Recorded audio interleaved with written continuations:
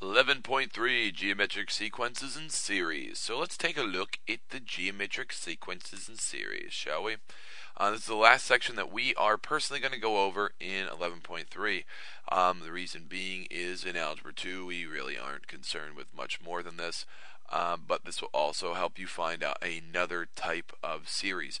Um, we went over the first one, which is arithmetic, and there was a formula, and now there's a geometric type, and now I can give you almost, almost every single type of little equation there to find the sequence or series of, and you could give me the equation for it. So, taking a look. Geometric sequences. It's actually the ratio of the terms. Um, and the ratio of the terms needs to be constant.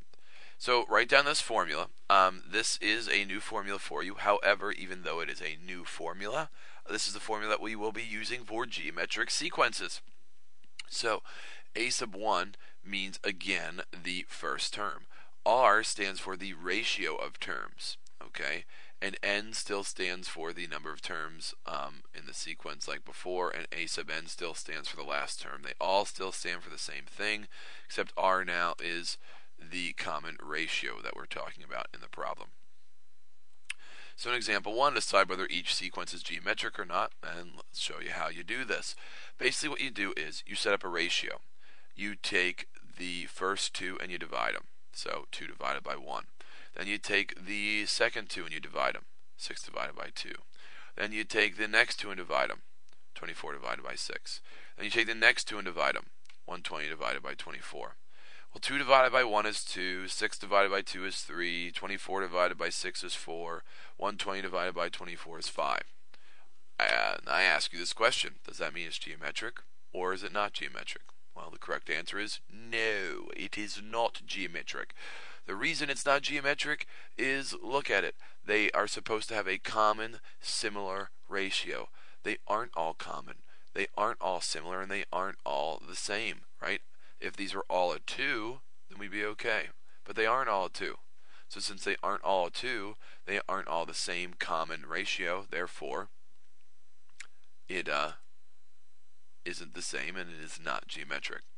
If we take a look at the next one, I take the first 2 and divide it. So 27 over 81. Then I take 9 divided by 27.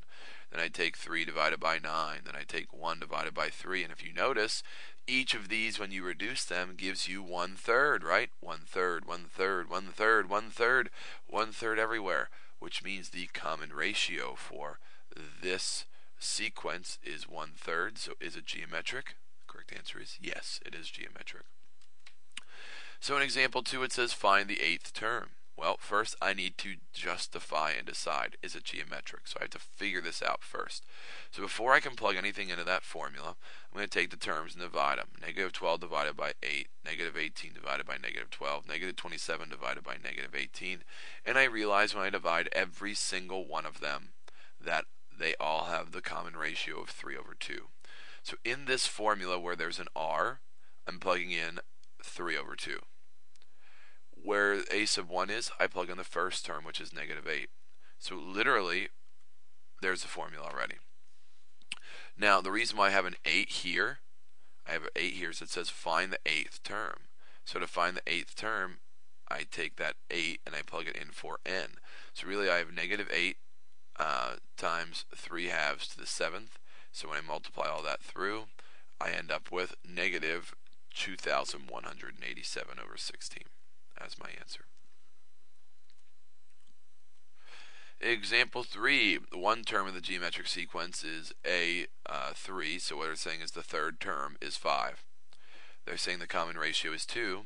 Let's figure out what it is. So I know that R is 2, so I can plug a 2 in there.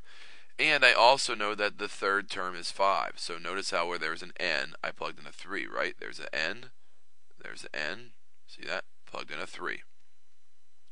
So we get a sub 3 equals um, a1 r squared because 3 minus 1 is 2. I know a sub 3 is 5, so I can put a 5 in there. And like I said, I know that r is 2. So I plugged a 2 in for r, and I plugged uh, 5 in for a sub 3, and 2 squared is 4. So I can actually already tell you now what the first term is. Divide both sides by 4, and I figure out that the first item in the sequence is 5 over 4. That's the first item. And I know what r is. So actually, I know what the whole entire um, formula is for this problem. So the rule, when I plug it all in, is 5 over 4, and I know that r is 2 to the n minus 1. Example 4, the two terms of the geometric sequence. This is the big problem like the last one we did um, in 11.2. Uh, telling that the second term is 45. Telling you that the fifth term is negative 1215. So we need to figure out what the rule is. Okay, so in order to do this, start by plugging in what I know. I know that the second term, that's why I put a 2 in for n. The second term is n. Um, so when I do this, the second term I know is 45, so plug a 45 in there, and 2 minus 1 is r. All right. A sub 5 now. All right, is what we're looking at. Uh, but before we do that here, what I'm doing here is I'm solving both sides for um, a sub 1, which is what we did in the last problem. The reason I'm doing this is now I know what the first term is. Even though the first term is in terms of r, I still know what it is. It's 45 divided by r. So now let's take a look at the fifth term.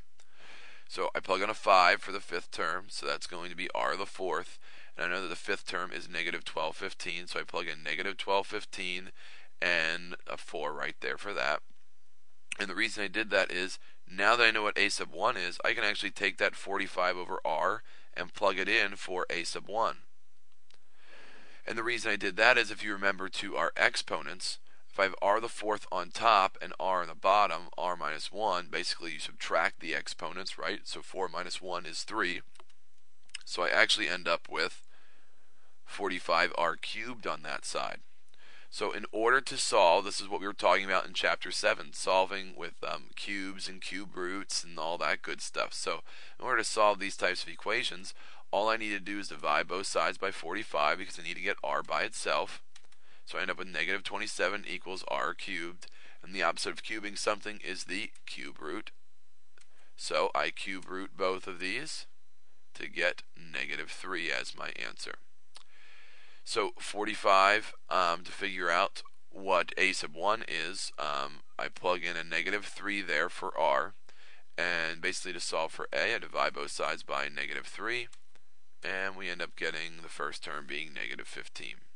So what is the actual equation? I know that r is negative 3, and I know that a sub 1 is negative 15, so I plug those terms both in, and there is your equation for the geometric sequence series.